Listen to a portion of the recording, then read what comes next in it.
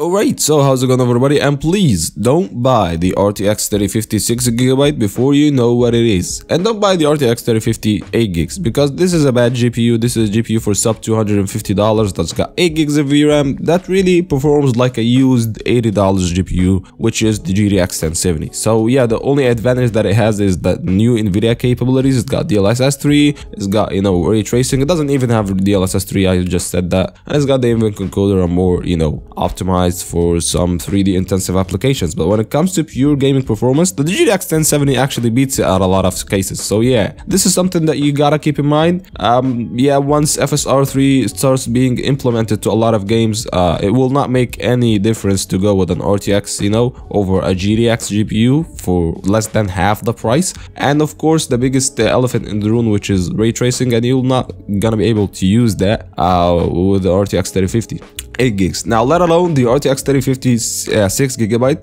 if you don't know what it is, this is a GPU that has been launched recently from NVIDIA and you gotta know what it is. This is not a GPU that's meant to compete with the, you know, uh, full tower GPUs out there. It's not meant to compete with anything actually. Uh, you could find it as a replacement to uh, GTX 1650. It's basically a GTX 1650 and we added ray tracing to it and an extra 2 gigabytes of VRAM bump. This is the only way I'd find this GPU, you know, that makes sense because basically when you look at the performance, you'd find it 20% percent slower than the RTX 3050 8 gigs, which uh, will put it in a territory close to around the RX 5500 XT performance or the RX 580 8GB performance. So it's kind of faster than the GTX 1650, the infamous one, but like by 10 to 15%. So why is this GPU intriguing to anyone? Basically, this GPU goes for $170 and you will find a lot of uh, these models being in low profile variants because basically this is a GPU that you would want to have if if you wanna uh,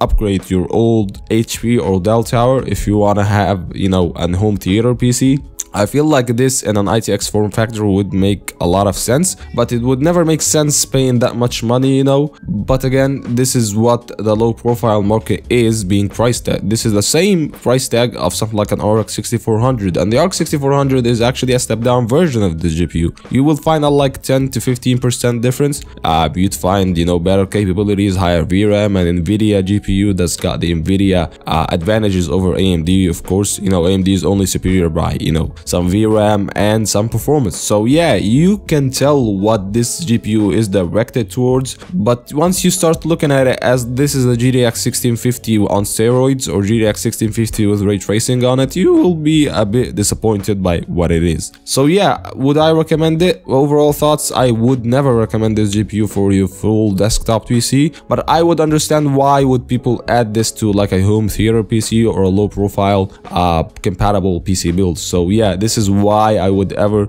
actually pick this GPU as an option. But yeah, the, given that how uh, cut down it is when it comes to CUDA cores, when it comes to VRAM compared to the RTX 3050, it doesn't make it, uh, you know, an intriguing option for anyone. But this is just my opinion. Let me know what you think down in the comments below. Yeah, thank you for watching and I'll see you in the next one. Peace.